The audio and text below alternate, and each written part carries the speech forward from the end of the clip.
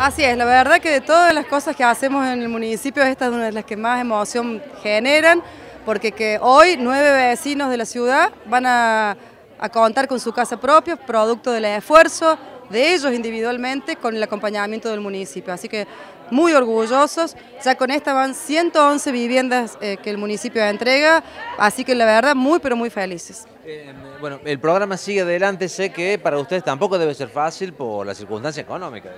Así es, o sea, eh, con la, inflación y los costos por ahí, este año hemos tenido que, remarlo un poco, pero bueno, producto de, que venimos trabajando siempre, como digo, eh, en forma ordenada, prolija, eh, con la mayor austeridad posible, hemos logrado poder cumplir con todas las metas y entregar las viviendas como correspondía.